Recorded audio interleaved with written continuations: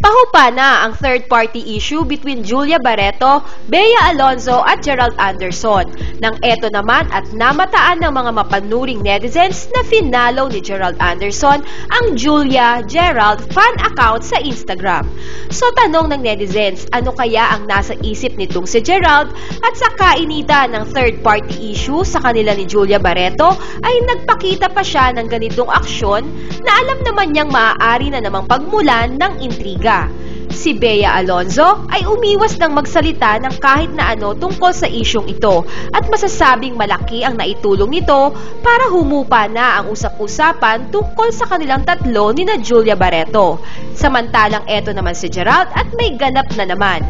Alam naman natin na ang bawat kilos natin sa social media ay accessible sa mata ng publiko at lalo na sa mga followers nito. Kaya ngayon nga ay pinag-uusapan na naman ulit si Gerald. Karapatan naman ni Gerald Anderson ang gawin ang naisip niya. Pero dahil nga public figure siya na nasa kalagitnaan ng intriga sa kasalukuyan ay hindi talaga maiiwasan na bigyan ng kulay ng mga followers niya ang bawat kilos niya. Ayon sa ibang netizens, ang pag-follow raw na ito ni Gerald sa fan account nila ni Julia sa Instagram ay confirmation ng mga isyong ibinabato sa kanila.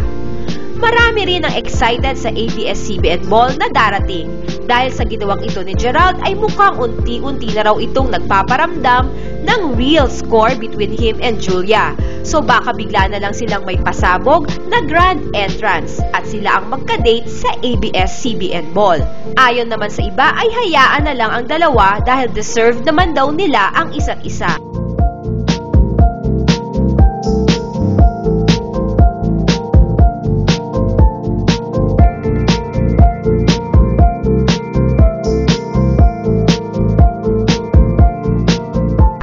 Narito ang ilan pang reaksyon ng netizens sa balitang ito.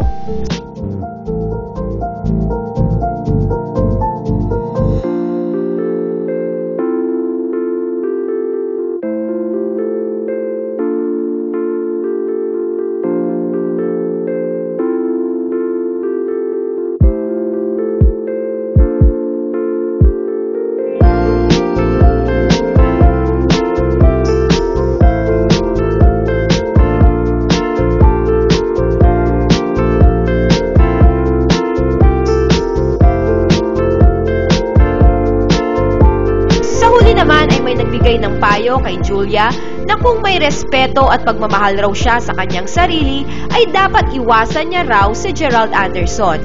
Pagpahingahin raw muna niya ang kanyang puso hanggat sa dumating ang taong deserving sa pagmamahal niya. Right this moment po ay inunfollow na ni Gerald Anderson ang nasabing fan account nila ni Julia Barreto. Ano pong masasabi nyo sa ginawang pag-follow ni Gerald sa fan account nila ni Julia sa Instagram sa kainitan ng third-party issue ibinabato sa kanila sa kasalukuyan? Sa tingin nyo ba ay dapat pinahupa muna ni Gerald ang issue bago siya gumawa ng mga ganitong klase ng aksyon? Share us your thoughts and comments below. And don't forget to subscribe to Showbiz Broadcast.